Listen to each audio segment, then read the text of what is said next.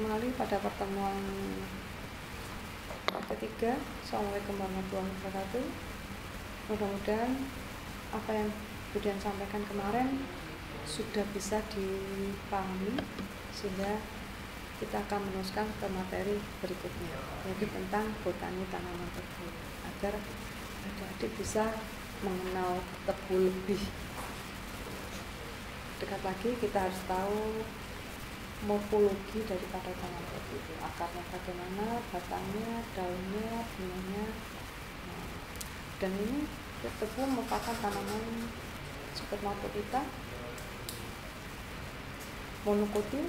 Nah, karena apa cirinya? Dia dia tidak bercabang daunnya seperti kita.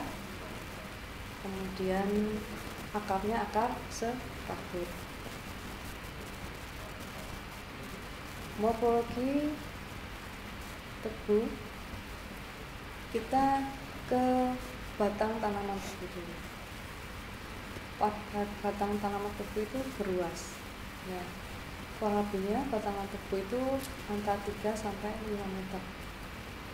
Warnanya biasa warna hijau ada yang warna ungu kemudian ada yang berwarna kuning berarti itu menunjukkan kualitas yang berbeda. Mempunyai kulit yang keras berlignin biasanya di dalam batang itu ada kandungan miranda nah, bisa dilihat seperti ini. Oh, tanaman tebu itu baik jika ruasnya bukan ruasnya ting batangnya tinggi dan tidak bengkok. Bisa dilihat di sketsa tadi untuk ruas batang. Ruas batang tebu batang itu terdiri dari beberapa bagian. Yang namanya ruas. Ada buku ruas. Karena ruas ini biasanya menunjukkan perbedaan. Yang merupakan perbedaan daripada kualitas tebu tadi ada yang ruasnya panjang ada yang ruasnya pendek kemudian bentuk ruasnya warnanya bentuk matanya. Nah sehingga di sini biasanya merupakan identifikasi varietas. Untuk mengidentifikasi varietas. Untuk ruas batang tebu. Ya, bagian-bagian daripada ruas itu langsung saja. Di sini ada yang namanya ruas itu antar cincin akar ya. Ah sudah kelihatan. Kemudian buku ruas. Ya buku ruas itu di antara tadi cincin akar yang diduduki oleh daun tebu. Ada yang namanya cincin lilin. Kemudian nomor dua itu ada alur mata cincin tumbuh. Kenapa dikatakan cincin tumbuh? Karena di situ ada eh, calon-calon uh, daripada tunas. Ya. Kemudian ada cincin akar. Di cincin akar itu biasanya ada titik-titik kecil tempat tumbuhnya akar.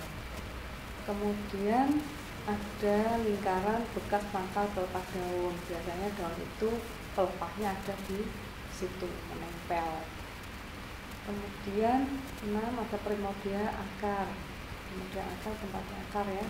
Kemudian lubang teras batang biasanya di sini merupakan ciri khas daripada tebu pecahnya pecahnya batang merupakan ciri retakan tumbuh dari misalkan dari tebu yang mau tumbuh biasanya di situ akan pecah eh, akan menunjukkan mata tunas ada di kuas tadi kemudian 9 nah ini mata mata tunas tebu calon daripada tunas di situ dia akan tumbuh dari situ. Itu merupakan daripada kemudian di sini bentuk dan kedudukan luas ya. Kedudukan luas dan bentuknya. Bagaimana bentuknya? Silinder atau kelos, konis, konverbalik dan cembung. Nah, ini akan diperlihatkan hmm. ya ini adalah satu salah satu contoh daripada batang tebu memang sekilas tidak berbeda tapi kalau dilihat dari bentuknya di masing-masing kelas itu akan terlihat nampak ada yang batangnya atas lebih kecil yang bawah lebih besar. Kemudian batang atas dan batang bawahnya di tengahnya agak mengkong. Nah inilah bentuk-bentuk daripada ruas batang tadi. Silinder, stone, kelos, konis, konvert balik, jembung. Nah ini sudah ada pada mata kuliah morfologi di botani. Jadi ini mengulas saja sehingga jadi akan lebih paham kemudian panjang ruas tebu nah ini tadi panjang makin panjang dari pangkal sampai ke tangan batang tebu dan sampai makin pendek ke ujung batang tebu. Pada saat kalian melihat batang tebu di lahan, bagaimana penampakannya? Jika mengalami kekurangan air, di sini panjang ruas makin panjang dari pangkal sampai pertengahan batang. Dan selanjutnya makin pendek ke ujung tanaman tebu ya kan? Itu kalau melihat di batang tebu jika di jeli. Kemudian sini panjang luas makin panjang di pangkal sampai tanpa tebu saling makin pendek ke ujung mata. Ini slide nggak bisa jalan ya. Nah ini batang yang baik jika batangnya lurus batangnya pendek dia batangnya jelek batangnya pendek dan wakum sehingga pengaruh pada uh, produksi gula yang dihasilkan. Mata ruas tebu. Mata ruas tebu itu apa? kuncup tebu yang terletak pada buku ruas batang dan terlindungi oleh pangkal pelepah daun. Bagian ini merupakan salah satu tanda pengenal varietas ya mata ruas tebu jadi mata mata ini yang nantinya mata tunas ini yang akan ditumbuhkan sebagai bahan tanaman tebu ya ada sering melihat seperti ini ya. Ini kita lihat ada pentulan di cincin akar di ruas yang biasanya ditutupi oleh pelepah bagian-bagian ini ada rambut jambu, tepi sayap, pusat tumbuh, cincin tumbuh, mata akar, sayap mata, sudut sayap, rambut tepi basal, bekas pangkal pada daun, tonjolan dasar mata. Nah, bagian-bagian ini nanti akan kita tampilkan di layar tapi nanti akan diperkuat pada saat adik-adik praktikan ya di situ mata tunas dengan skesa mata bulat mata bulat telur. Kurang lebihnya gambarnya seperti itu. Kemudian mata tunas tadi yang kita foto tadi nah, ternyata ada bagian-bagian yang bisa merupakan ciri daripada varietas tadi.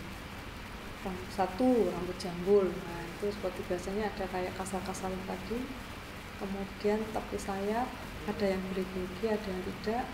Pusat tumbuh nomor tiga itu uh, tempatnya mata tunas untuk tumbuh. Kemudian cincin tumbuh nomor empat. Biasanya cincin tumbuh ini tempatnya uh, akar-akar akar-akar bibit. Nah, akar bibit tebu mata akar sayap mata sudut sayap rambut tepi basal bekas pangkal pelepah daun dan tonjolan dasar mata bisa dilihat uh, satu persatu dan dibedakan ya. kita lanjutkan tepi sayap pada mata tulang tadi nah, ini tadi yang kita sebutkan tepi sayap rata, tepi sayap bergerigi. Kita lihat di situ ya dianggap rata jika kurang dari seperempat bagian ada geriginya ya. Kalau lebih dari seperempat berarti tepi sayap bergerigi.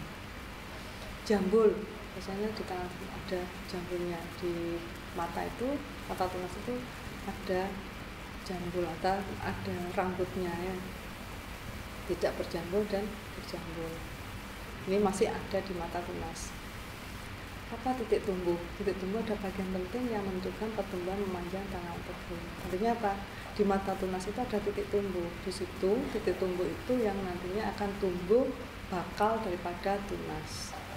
Tunas nanti akan ada batang ada daun. Dan selanjutnya menjadi tanaman.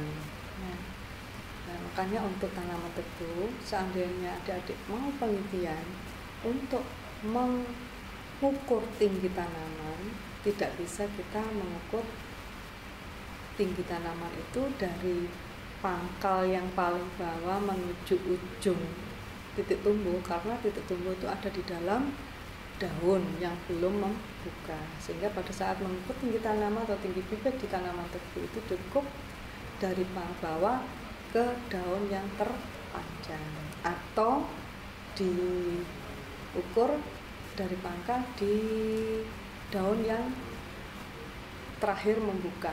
Itu untuk mengukur tinggi tanam. Sistem perakaran. E, perakaran di tebu itu menggunakan akar serabut ya. Nah, tapi kalau kita bedakan dari akar serabut itu itu ada akar yang tumbuh dari cincin akar. Itu namanya akar bibit yang tumbuh dari tunas itu namanya akar tunas. Itu ya. Nomor satu itu akar yang tumbuh dari tunas tebu yang matanya sudah tumbuh itu ada anakannya dua nah itu tumbuh akar namanya akar tunas. Sedangkan akar stek atau akar bibit biasanya di cincin akar itu ada titik-titik. Nah titik-titik itu akan timbul tumbuh akar kecil-kecil yang namanya akar bibit atau akar akar stek. Fungsinya akar itu apa sih biasanya? Nah, untuk membantu tanaman menyerap unsur hara. Karena di sini tanaman tebu merupakan tanaman serabut, tanaman tebu itu berkisar di areal uh, 30 cm. Nah, artinya pada saat kita mupuk pada saat kita memberikan nutrisi memberikan lubang tanam tidak terlalu dalam. Karena mengingat sifat dari tanam tebu itu sendiri akar tebu berkisar antara 0 sampai 30 yang maksimal. Ya.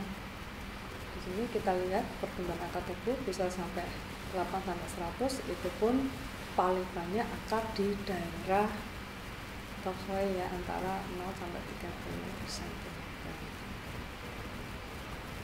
Bunga tebu.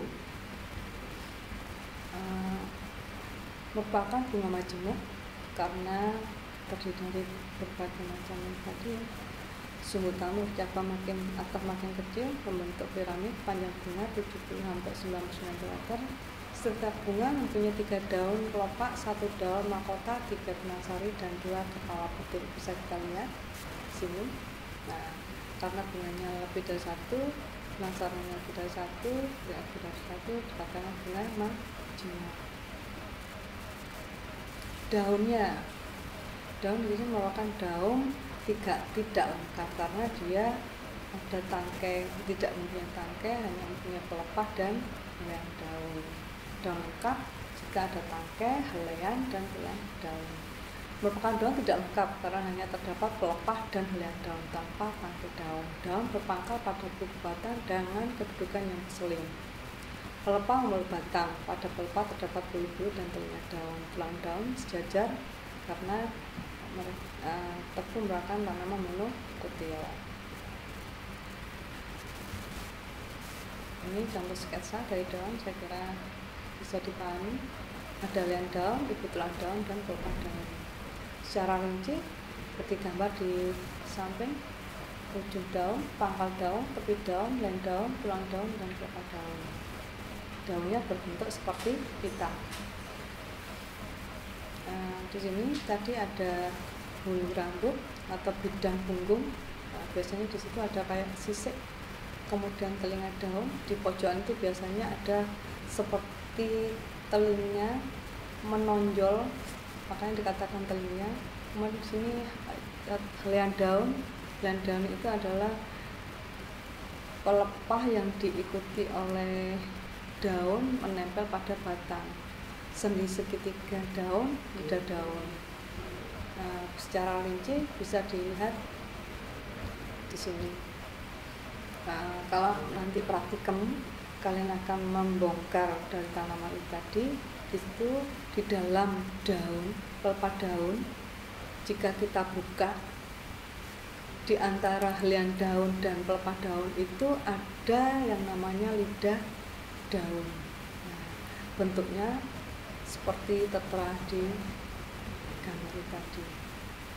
Macam uh, macam bentuk macam bentuk telinga daun Pak Farid kan sudah bisa membuktikan bahwa untuk macam bentuk telinga daun itu tidak bertelinga dalam, telinga dalam tegak, telinga dalam serong. Nanti bisa kalian melihat pada saat praktikannya. Ya. Ini masih pada daun. Ini pelepah di daun. Di pelepah tadi, pangkal pelepah daun itu ada keterangan telinga daun, lidah daun, tiga daun, lian daun, ibu tulang daun, dan bulu atau rambut bidang punggung. Uh, pada pelepah daun di belakang pelepah itu biasanya ada seperti bulu nah, dan kalau dipegang biasanya bulu itu akan rontok. Nah itu namanya bidang punggung. Ada yang ada seperti yang kasar-kasar tadi itu namanya bidang punggung ada yang tidak. Itu mencirikan dari varietas tebu yang berbeda. Nah ini gambar beberapa bentuk sendi ya yang ada di daun tadi. Di pojokan itu ya. Oke. Oke mungkin itu saja untuk morfologi misalnya apa ya? Morfologi tanaman di tebu akarnya akar serabut batangnya berluas bukan bercabang kemudian daunnya berbentuk pita merupakan daun yang tidak lengkap karena dia hanya mempunyai pelepah dan helaian daun. Uh, kemudian bunganya majemuk karena terdiri dari bunga betina dan jantan lebih dari satu dan membentuk seperti untian untian seperti yang kami tampilkan uh, mungkin uh, untuk materi botani tanaman cukup sekian selebihnya kita akan ketemu lagi pada materi berikutnya yaitu syarat tumbuh tanaman tersebut. Assalamualaikum warahmatullahi wabarakatuh. Saya selalu untuk kalian semua. Terima kasih.